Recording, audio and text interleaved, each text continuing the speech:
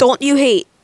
Don't you hate when people say like this video, but or something will be on your arm, blah blah blah. Like this video, or you'll be banned forever. Don't you just hate that? So I watched five videos today that had that. Like this video, or a spider will be on your arm or bed or whatever.